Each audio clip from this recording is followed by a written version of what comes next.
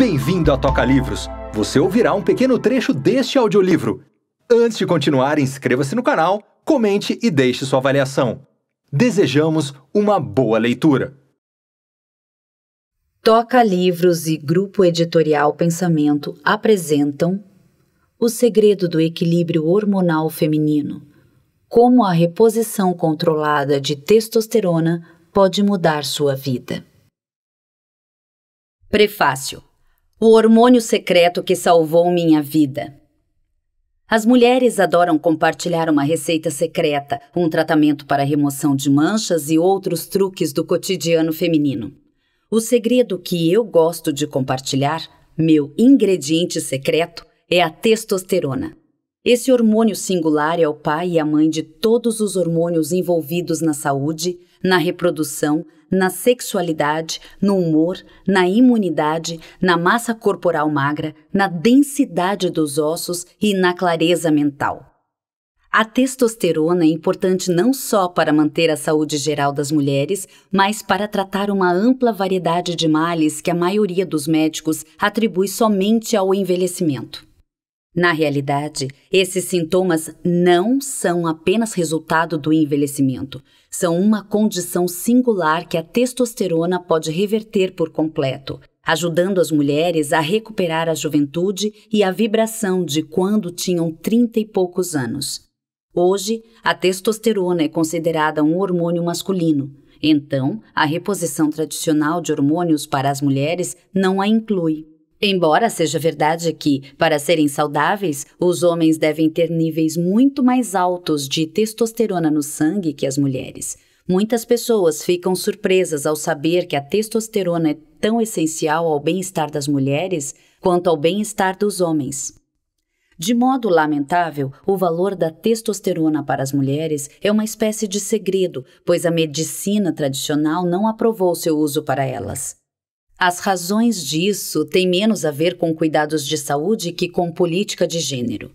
Em termos históricos, a profissão médica nos Estados Unidos e a Food and Drug Administration, FDA, ambas em geral dirigidas por homens, têm se recusado a aprovar vários medicamentos que contêm testosterona para o uso das mulheres. Mas os aprovam para tratamento de problemas sexuais masculinos. Estou aqui, no entanto, para dizer que a testosterona pode mudar sua vida. Ela mudou a minha. Minha viagem pelo inferno hormonal começou quando eu estava no início da faixa dos 40 anos. Muito antes da menopausa, dei início a uma queda livre rumo a um estado de debilitação. Eu estava cuidando do meu marido, da minha filha e de um consultório médico, além de estar envolvido com obras de caridade, organizações e grupos políticos. Com tanta coisa para fazer, dificilmente tinha tempo para notar as mudanças em minha mente, meu corpo e minha alma. Sofria de uma fadiga arrasadora, de insônia e de mudanças de humor. Ganhei peso, perdi o interesse por sexo e tive severas TPMs, tensões pré-menstruais e enxaquecas. Além disso, minha personalidade ficou insípida. Nesse processo, perdi de vista meu próprio bem-estar e fiz o que muitas mulheres fazem sob tal estresse. Limitei minhas atividades a ir de casa ao trabalho e cortei tudo mais de minha vida. Antes de esses sintomas começarem a me afetar, eu era considerada a autoridade máxima em hormônio em St. Louis. Alguns chegavam a se referir a mim como a rainha do hormônio. Como era uma aficionada dos hormônios bioidênticos, os quais são naturais porque são feitos a partir de plantas, e idênticos aos hormônios humanos, tratei a mim mesma com pura progesterona. Voilá! Por um breve tempo recuperei meu eu normal.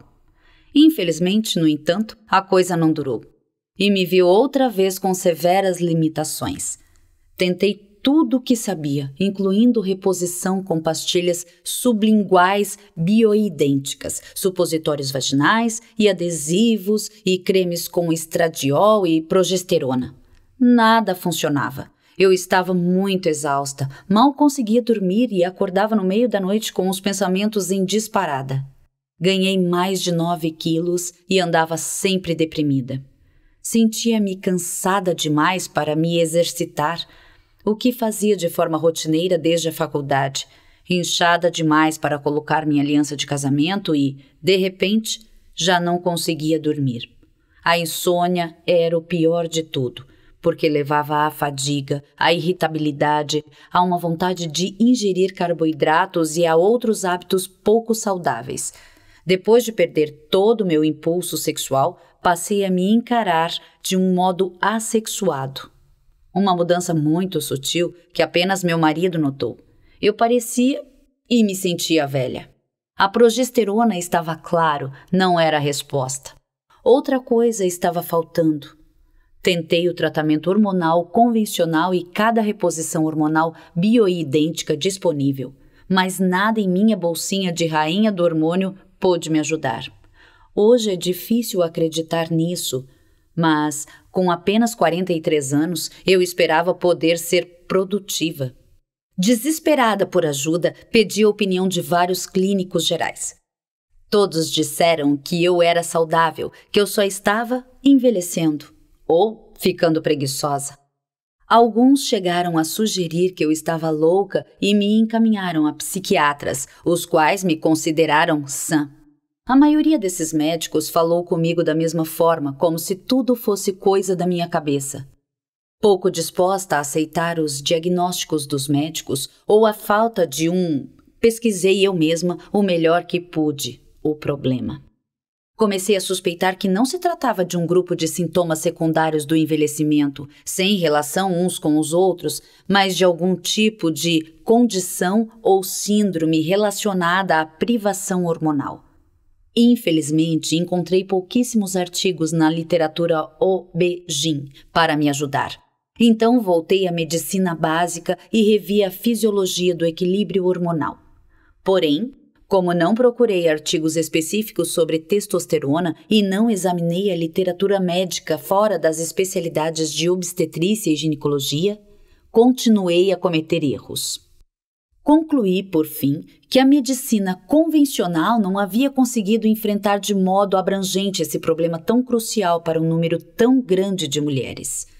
Soube também que não estava sozinha, com outras pacientes tentar inúmeras reposições com hormônios convencionais e bioidênticos dos tipos transdérmico, sublingual e cremoso. Elas, como eu, acabaram se sentindo apenas um pouco melhor. Do início ao fim de minha pesquisa, continuei a me sentir cada vez pior em todas as áreas. Como muita gente, também tinha outros problemas. No meu caso, a piora progressiva de um endometriose que ia requerer uma histerectomia e a remoção dos ovários. E, como fazem muitas outras médicas, esperei até a dor ficar tão forte que me impedisse de andar. Acabei forçada a encarar o fato devastador de que precisaria reduzir meus compromissos ou talvez renunciar por completo à profissão. Enfim, me submeti à cirurgia esperando que todos os sintomas fossem fruto da dor crônica. Minha histerectomia não foi uma cirurgia normal. Após a operação, recebi 9 litros de fluido para ressuscitar, o que me fez entrar em insuficiência cardíaca. Quando acordei muito antes do previsto, estava entrando em SDRA, um mau funcionamento severo do pulmão, e me encontrava em um respirador. Pude entender que estava na UTI porque a reconheci. Havia feito minha residência no mesmo hospital mais de 20 anos antes. Estava sozinha, com mãos e pés imobilizados, e não podia me mexer.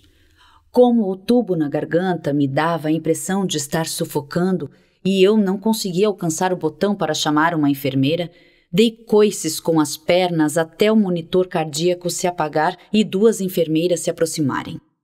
Lutei para me comunicar, mas era como se eu não estivesse lá.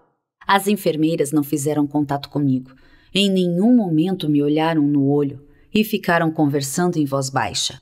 Até que acertei o botão, a pior hora de minha vida. Rezei para morrer, porque não queria viver como uma inválida cardíaca. Então, de modo súbito, a coisa mais incrível aconteceu.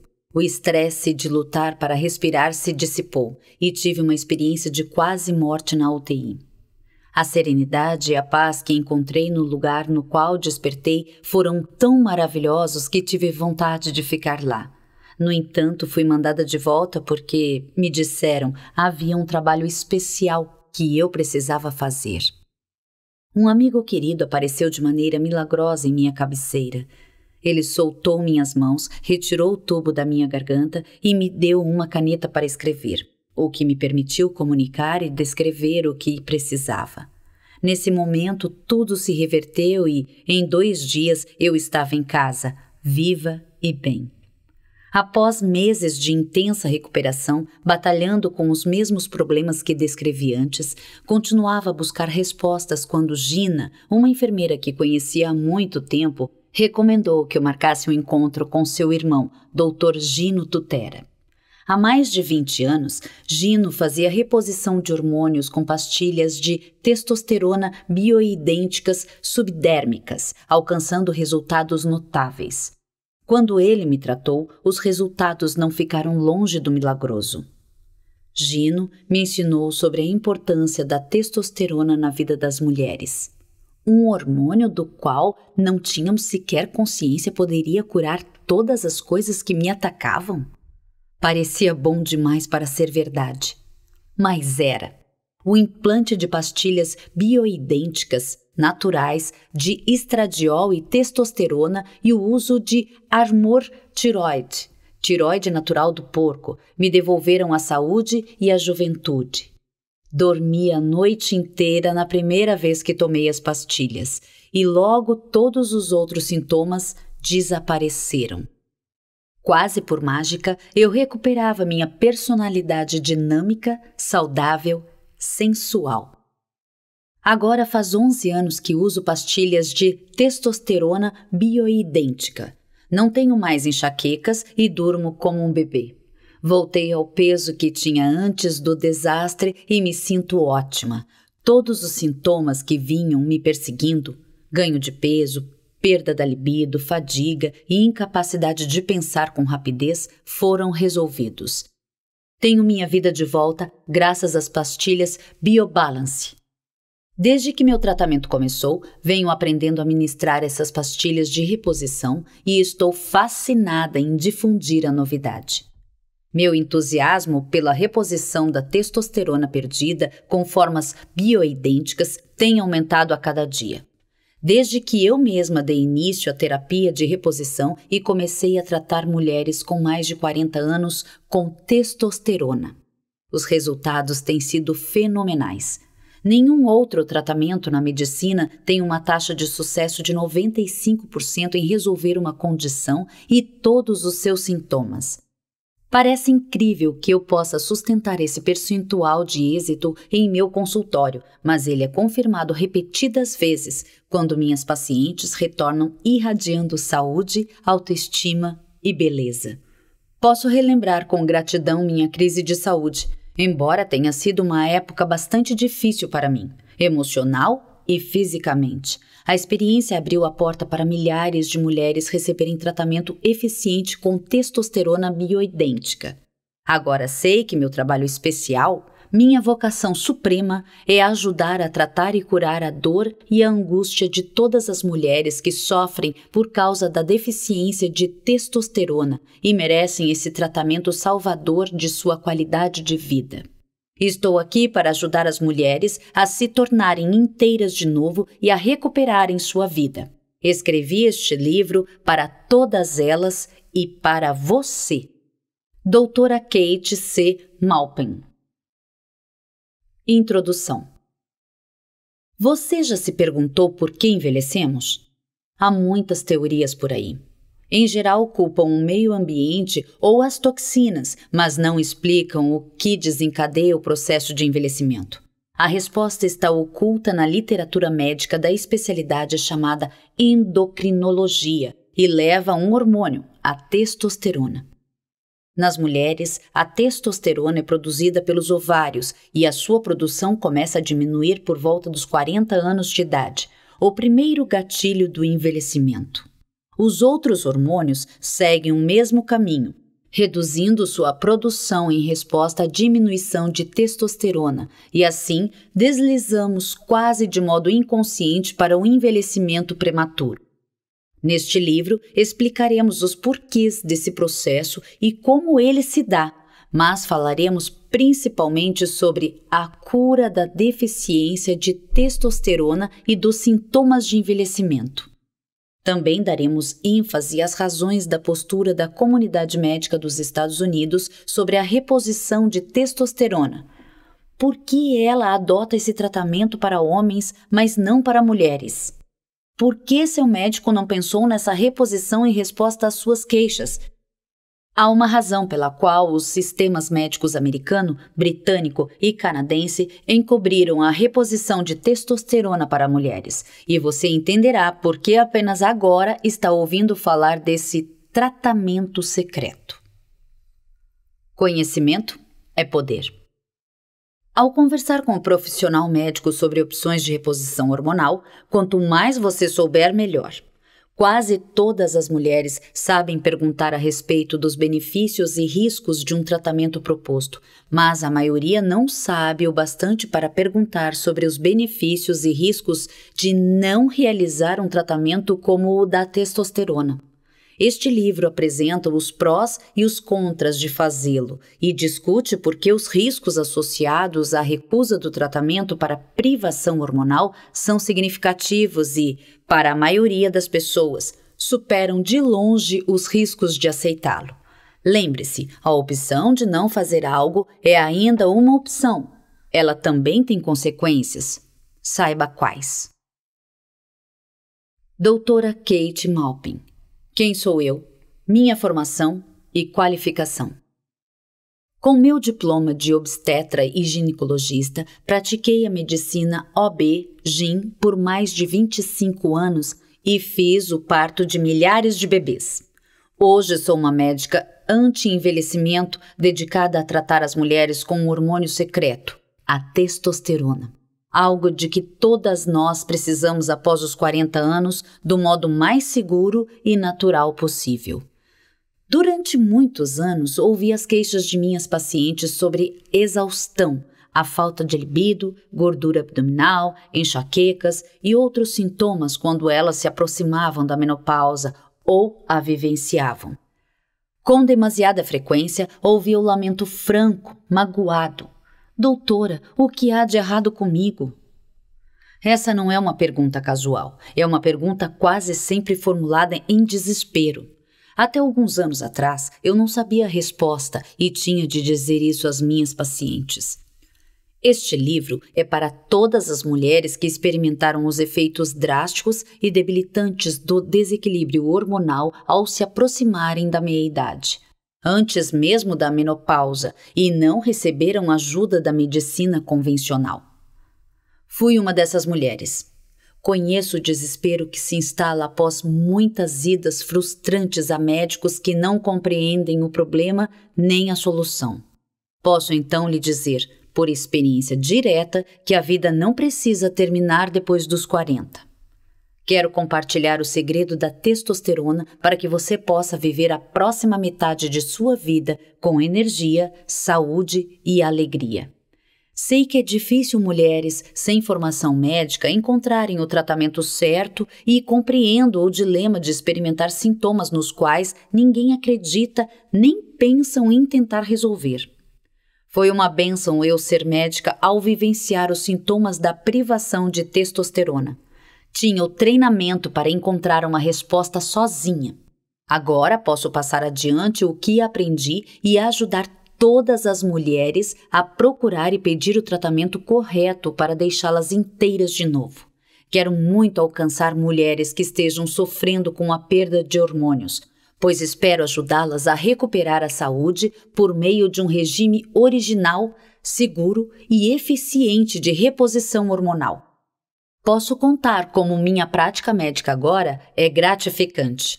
Sou capaz de sustentar uma taxa de êxito superior a 95% com minhas pacientes que realizam reposição hormonal por meio do tipo mais seguro, pastilhas bioidênticas, incluindo ao mesmo tempo o crucial e frequentemente esquecido hormônio feminino da testosterona.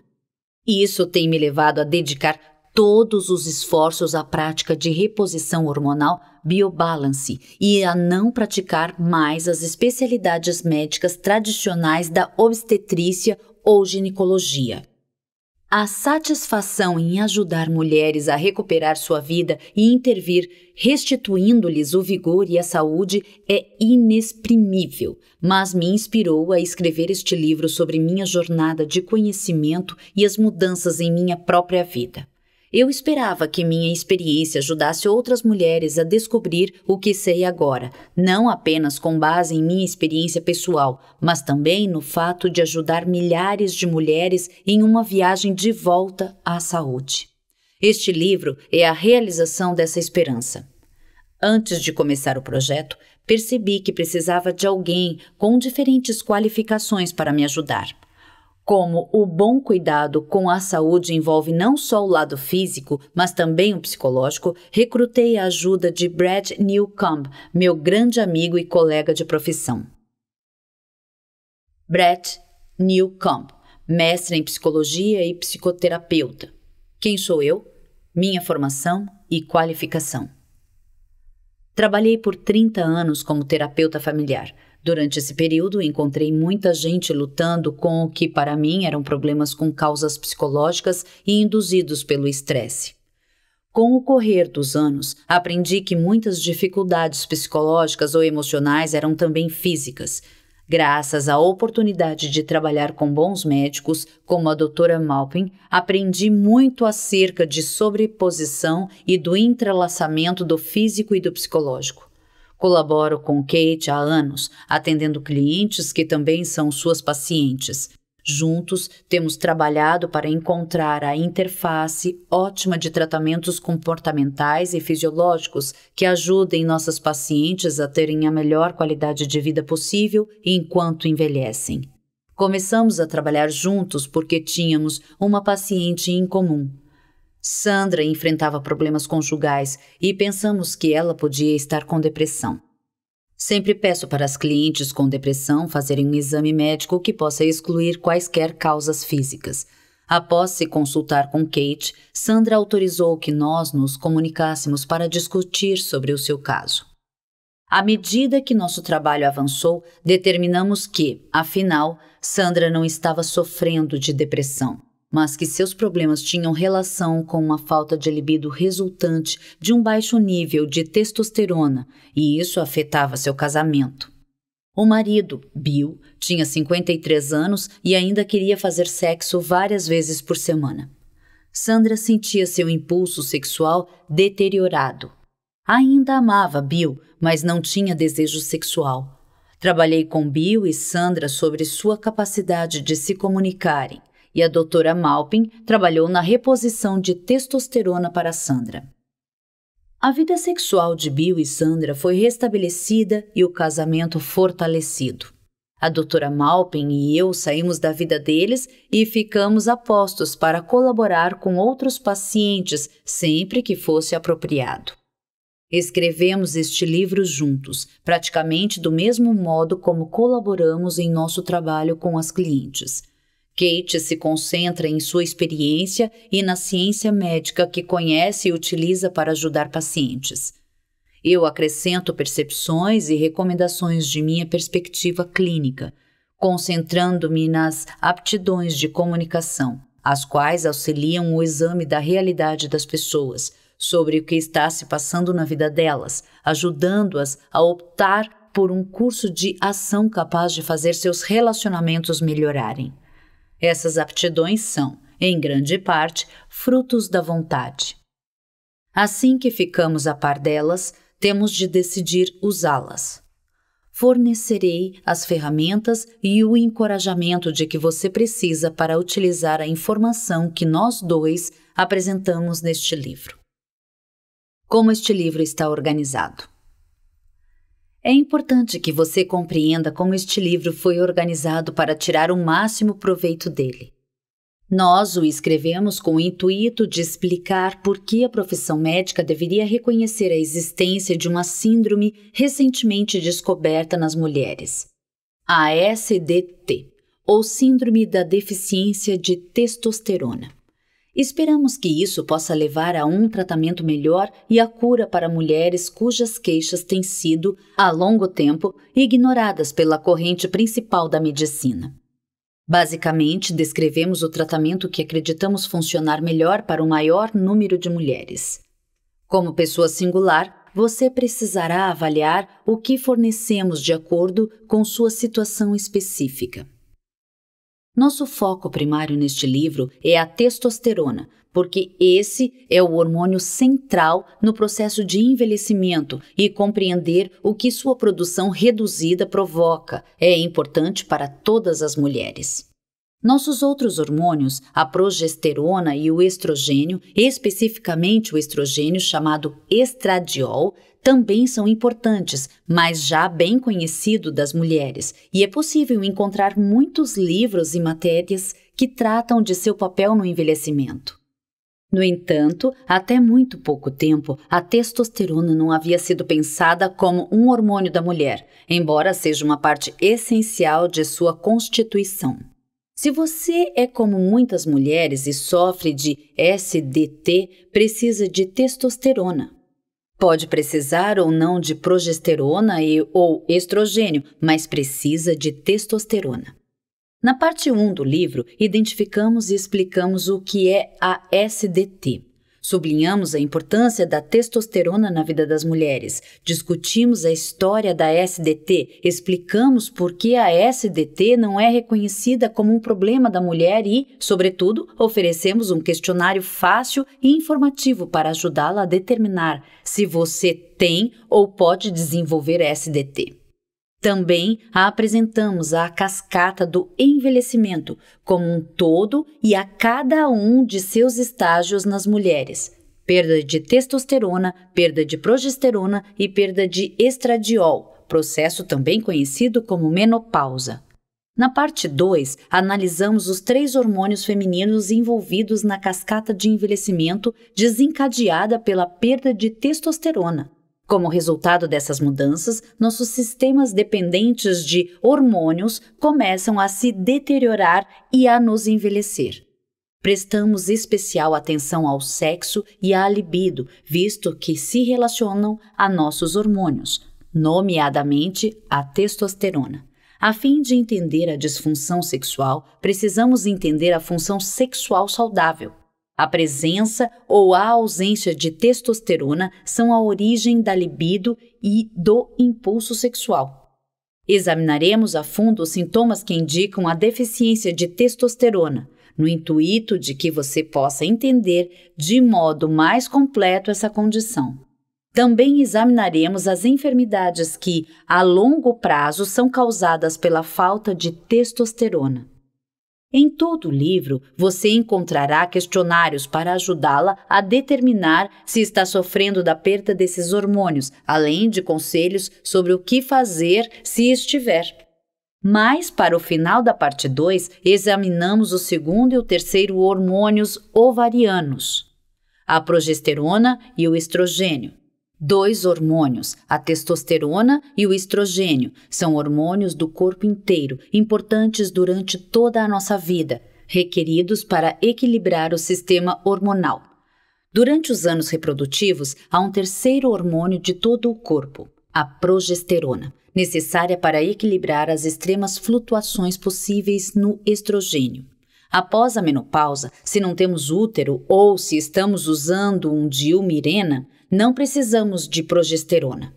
Quando recebemos reposição de estrogênio, a progesterona só é necessária para regular sangramentos no útero, não sendo mais um hormônio regulador do corpo inteiro. Graças à sua importância como hormônio feminino, a testosterona ocupa o centro deste livro. Informações sobre o estrogênio e a progesterona, embora importantes, já estão amplamente disponíveis. Trataremos desses dois hormônios em um único capítulo. Contudo, você encontrará questionários úteis relativos aos três hormônios, incluindo sintomas de deficiência, riscos e benefícios da reposição. Na parte 3, discutimos os riscos e os benefícios de optar entre repor os hormônios ou não fazer absolutamente nada. Você encontrará uma visão geral dos riscos e dos benefícios físicos, financeiros e emocionais de cada decisão que precisar tomar. Tudo isso leva ao capítulo final, que a ajudará a decidir quais hormônios repor e que tipo de reposição funcionará melhor para você. Este livro lhe proporciona um mapa de rotas para determinar de quais dessas perdas hormonais você pode sofrer e para ajudá-la a optar por um curso de ação se isso acontecer. Além disso, oferece uma descrição completa dos custos, benefícios e protocolos envolvidos para que consiga se reerguer. Queremos que você recupere a energia, o vigor e a vitalidade da juventude e viva o restante de sua vida como uma mulher saudável, capaz e vibrante. Capítulo 1 Você tem a síndrome da deficiência de testosterona? A testosterona é um hormônio que afeta cada sistema do corpo. Como resultado, sua falta causa sintomas globais difíceis de diagnosticar, como fadiga e depressão. Há tantas causas para esses problemas que os médicos têm dificuldade em saber por onde começar a investigação. Como a perda de testosterona é um processo lento, com frequência age de modo sorrateiro nas mulheres. Elas podem presumir que mudaram alguma coisa em sua vida, alteraram sua dieta ou estão sob pressão excessiva e que não estão enfrentando um problema médico. A maioria de nossas pacientes não consegue sequer apontar o ano em que os sintomas começaram, a não ser que tenham tido uma perda abrupta dos ovários. Para tornar o diagnóstico ainda mais difícil, os sintomas da perda de testosterona podem agir como camaleões, assemelhando-se a muitas outras enfermidades médicas, emocionais ou psiquiátricas, em vez de indicarem a deficiência de um único hormônio. Além disso, para ser capaz de diagnosticar uma doença, o médico ou a médica tem de ficar a par dos sintomas, a fim de poder avaliar se eles se ajustam ao padrão. No caso da deficiência de testosterona, a maioria dos médicos sequer sabe que essa é uma doença da mulher, o que torna impossível diagnosticá-la. Como cuidamos de milhares de mulheres com essa síndrome e testemunhamos tanto os sintomas quanto o momento de seu início, temos a vantagem da experiência. Investigamos cada sintoma e encontramos a pesquisa que liga a deficiência de testosterona a cada um. Encontramos uma relação entre a idade em que os sintomas costumam aparecer e as situações que desencadeiam a produção diminuída de testosterona. Informações como essas servem de base para os questionários criados por nós para ajudá-lo a determinar se você tem SDT. Ferramentas de autoavaliação para diagnosticar a síndrome da deficiência de testosterona. Diagnosticar qualquer tipo de doença é um processo complicado que inclui entrevistar, examinar fisicamente e fazer teste em uma paciente. O primeiro passo é olhar a paciente e verificar sua idade, seu peso e sua altura, observando se ela parece mais velha ou mais nova que sua idade. Fora isso, há muitos outros quesitos que os médicos aprendem a observar nos dois ou três primeiros minutos de uma visita ao consultório. O segundo passo envolve perguntar sobre os sintomas, sua progressão e severidade. Em seguida, o médico realiza testes, como exames de sangue, raio-x e registro de alterações de peso, no intuito de afirmar que o diagnóstico está correto. Adaptamos o processo de diagnóstico para este livro, substituindo as entrevistas do médico por questionários. Esses questionários vão dizer se você é uma candidata a exames de laboratório e tratamento por um médico. O primeiro questionário investiga se você se ajusta à idade e ao grupo de risco que pode ter SDT. Coloque um X ao lado de quaisquer declarações que se apliquem a você. Tenho mais de 38 anos. Tive os ovários removidos. Sofri de menopausa prematura antes dos 38 anos de idade. Meus ovários foram expostos à radiação quando me submeti a um tratamento de câncer. Se marcou alguma das declarações anteriores, você se ajusta à idade e à condição ovariana para deficiência de testosterona e pode ter SDT. Escute agora ao questionário seguinte. O segundo questionário relaciona os sintomas mais comuns da SDT. Nem todas as mulheres com SDT têm todos esses sintomas, mas a maioria que tem, tem deficiência de testosterona, apresenta pelo menos alguns deles. Tente marcar no papel de quais declarações que se apliquem a você. Perdi meu impulso sexual. Tive orgasmos no passado, porém não consigo mais ter orgasmo ou agora é mais difícil. Tenho mais fadiga que antes dos 38 anos. Minha motivação acabou. Não tenho vontade de fazer nada. Tenho insônia. Acordo no meio da noite e não consigo voltar a dormir. Não me sinto descansada ao acordar de manhã. Tenho um diagnóstico de ansiedade e ou depressão que não tive antes dos 38 anos. Venho sentindo dores de cabeça desde que fiz 38 anos. Tenho ganhado peso, em especial na barriga. Minha energia para malhar diminuiu. Meus músculos estão ficando menores e já não sou tão forte. Minha estatura tem diminuído. Tenho osteopenia ou osteoporose.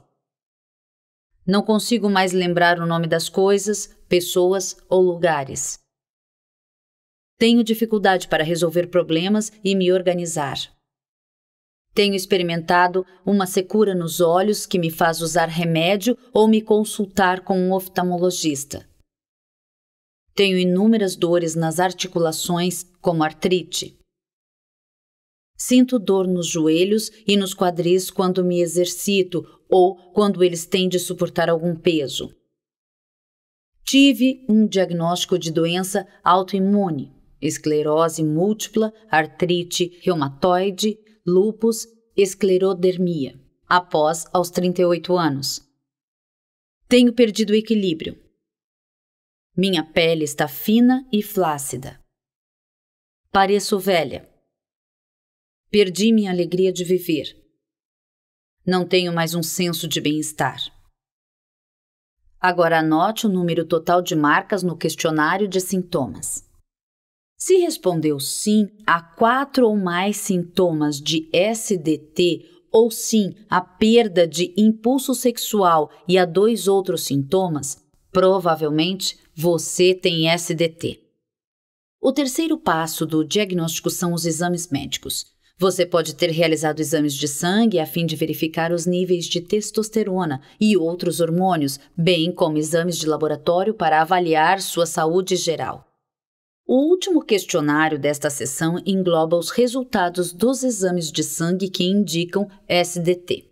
Como a maioria das mulheres tem níveis anormais de testosterona quando estão com SDT, os primeiros dois resultados dos exames de sangue são os mais importantes. Contudo, há outras mudanças fisiológicas que ocorrem em resposta a SDT. Se você estiver menstruada, tome cuidado para ter o sangue retirado pela manhã, durante os primeiros sete dias após o início do período menstrual, no intuito de obter resultados mais confiáveis. Níveis de testosterona no sangue para mulheres jovens, saudáveis, dias 1 a 7 do ciclo menstrual. Testosterona total igual 30 nanogramas por decilitro menos 60 nanogramas por decilitro. Testosterona livre, maior 10 picogramas por mililitro.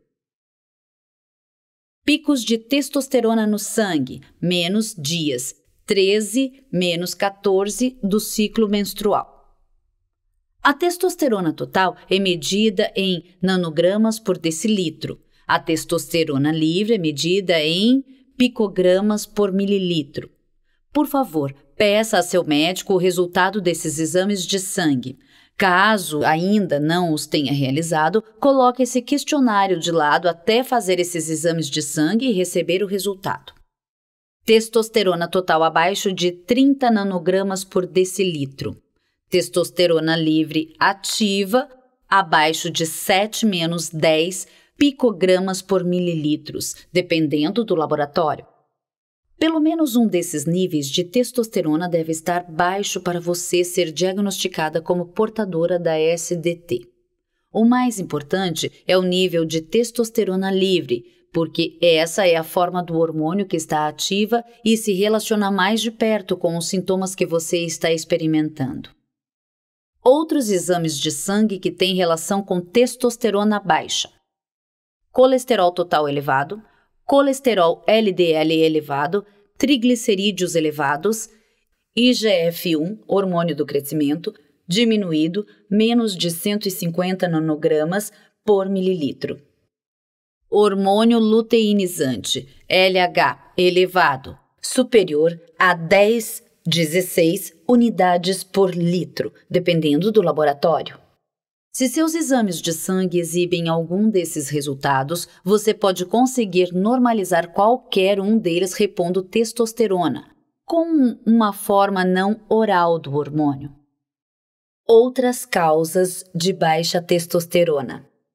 É importante observar que, mesmo se você teve resultados positivos nos questionários precedentes, a causa de sua SDT pode não estar relacionada à idade ou à perda dos ovários. Uma questão importante em que seu médico deve pensar antes de lhe dar um diagnóstico sólido é: o que mais pode haver? O envelhecimento é a causa mais comum da deficiência de testosterona, mas baixa testosterona também pode ser provocada por fontes externas, muito antes da deterioração relacionada à idade ou em qualquer momento após os 40 anos de idade. Medicamentos prescritos de forma inocente são uma causa importante de perda de testosterona. Esses medicamentos são, com frequência, necessários ao tratamento de um diagnóstico apropriado, mas têm o efeito colateral de diminuir a testosterona livre e aumentar todos os sintomas da SDT. Eles incluem antidepressivos que aumentam a serotonina e diminuem o impulso sexual antihipertensivos, medicação para pressão sanguínea, que diminuem a resposta sexual e a testosterona livre, pílulas anticoncepcionais, medicamentos para baixar o colesterol, estatinas, Evista, terapia Lupron para endometriose, estrogênios orais, esteroides orais ou intramusculares, por exemplo, Medrol dose PAC, prednisona e hidrocortisona. Provera oral, uma progestina sintética. Tamoxifim, que limita a testosterona. Drogas anticolesterol e a testosterona. Como a doença cardíaca causa o maior número de mortes, tanto de homens quanto de mulheres, nos Estados Unidos, os remédios para baixar o colesterol são, em volume, um dos medicamentos prescritos com maior frequência no país. Isso se aplica a homens e mulheres. Drogas para colesterol elevado podem diminuir o nível de testosterona livre em nosso corpo, pois a testosterona é feita de colesterol. Tomar medicamentos para baixar o colesterol diminui, de imediato, a produção de testosterona e de muitos outros hormônios. A comunidade médica reavalia e reajusta de maneira contínua sua opinião acerca de quando o colesterol é aceitável na corrente sanguínea. Durante anos, o padrão aceitável de colesterol total era visto como inferior a 220. Agora, o número caiu para menos de 200 para o LDL, o mau colesterol, recomendava-se um índice menor que 150 e agora ele está abaixo de 130. Esses números são avaliações dos colesteróis perigosos que contribuem para a doença cardíaca. Uma forma de colesterol protege contra a doença cardíaca e seu índice deve ser maior que 45. Um médico precisa determinar a razão risco-benefício, porque as drogas que baixam o colesterol baixam tanto as formas boas quanto as formas más de colesterol. Como a medicina opera por meio de um princípio de triagem, muitos médicos se concentram no problema da doença cardíaca, que põe a vida em risco, e não dão a mesma atenção aos problemas da libido e da felicidade sexual, que afetam a qualidade de vida em seu conjunto. Como médico, tenho de fazer a pergunta: por que o impacto dos medicamentos para o colesterol sobre a testosterona raramente é discutido? Se os médicos informassem que diminuir o risco de doença cardíaca significaria não fazer sexo, a maioria de minhas pacientes ia preferir não tomar a medicação para o colesterol. Muitos médicos defendem a participação do paciente na decisão médica, mas tendem, como grupo, a não perguntar sobre esse problema porque acham que os pacientes farão a escolha errada. Kate tenta se equilibrar na corda bamba de ajudar os pacientes a serem boas consumidoras médicas, educando-as com relação a escolhas de estilo de vida e informando-as acerca de remédios e seus resultados. Essa é uma prática que exige tempo e nem todo profissional médico tem tempo suficiente. Os medicamentos não são os únicos fatores que contribuem para uma diminuição dos níveis de testosterona em mulheres. Condições clínicas como diabetes e doença de Addison, insuficiência suprarrenal, podem provocar baixos níveis de testosterona em qualquer idade. Mesmo os estrogênios orais ministrados para o tratamento da menopausa podem restringir com muita eficiência a testosterona, tornando-a inativa. Lembre-se de que a testosterona livre melhora a libido e torna a restauração de seu impulso sexual possível. Se você enfrenta uma dessas condições e toma uma medicação que baixa a testosterona, seria razoável pedir a seu médico que mude o medicamento ou o suspenda. Como alguns remédios não podem ser suspensos, não pare de tomá-los contra as instruções do médico. E repita o exame de sangue para a testosterona. Se ela tiver se normalizado, você pode A mudar ou ajustar a dosagem de sua medicação, ou B. Repor a testosterona do modo mais seguro a fim de suplementar o nível em seu sangue e não mexer com os remédios. Lembre-se, as causas mais comuns da SDT são o envelhecimento, a menopausa e a remoção dos ovários, as quais não podem ser revertidas. A remoção das glândulas adrenais ou da parte da glândula pituitária também pode provocar uma redução aguda na produção de testosterona, levando a todo um espectro de sintomas originados pela SDT. Eles não são reversíveis, mas podem ser tratados com reposição de testosterona. E então, você acha que pode ter a síndrome da deficiência de testosterona? Se acha, continue a leitura para entender por que foi tão difícil descobrir que essa era a razão de seus sintomas e para saber como tratar esses sintomas de um modo ideal para você. Você acaba de ouvir um trecho de um dos audiolivros da Toca Livros. A versão completa está em nossa plataforma. Quer conhecer mais? Acesse tocalivros.com ou baixe nosso aplicativo. Não se esqueça de se inscrever no canal, comentar e deixar sua avaliação.